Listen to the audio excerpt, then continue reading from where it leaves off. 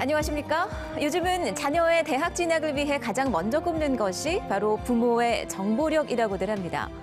TV 드라마 스카이캐슬 열풍 이후 이른바 강남 학부모들의 교육열이 연일 화제가 되고 있는데요. 오늘 부산에서 열린 한 입시 설명회는 갈수록 치열해지는 학부모들의 정보전 열기를 그대로 보여줬습니다. 정세민 기자가 다녀왔습니다. 행사장 뒤편까지 빼곡히 채운 학부모들.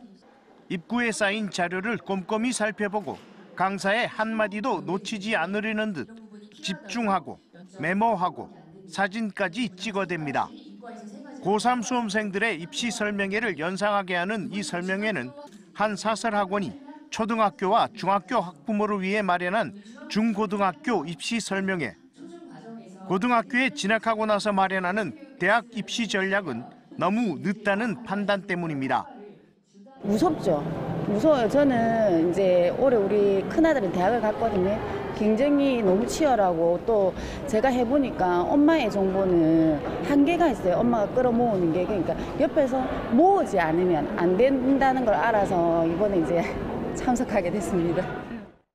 대학 입시라는 좁은 문을 통과하기 위해 초등학교 때부터 미리 준비해야 하는데 정작 내 아이의 실력조차 정확히 알 수 없는 학부모 입장에서는 사교육이라도 기댈 수밖에 없는 상황입니다. 초등학교 6년 동안 그리고 중학교 3년 동안 사실상 9년간 어떤 평가 시험이 제대로 없는 거죠. 상대 평가가 없는 데다가 고등학교 1학년 3월 달에 전국적으로 첫 모의고사를 보면서 석자를 처음 알게 되는 거죠. 9년간 불안한 거죠.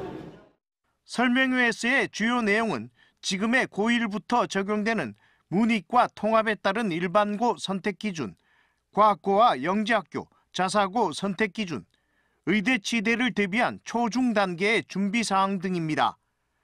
일선 학교에서 충분히 전달해 줄 수 있는 내용들이지만 학부모들의 궁금함을 속 시원히 해결해 주지는 못하고 있습니다.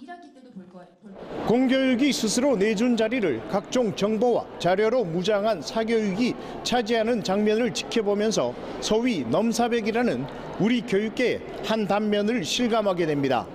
MBC 뉴스 정세민입니다.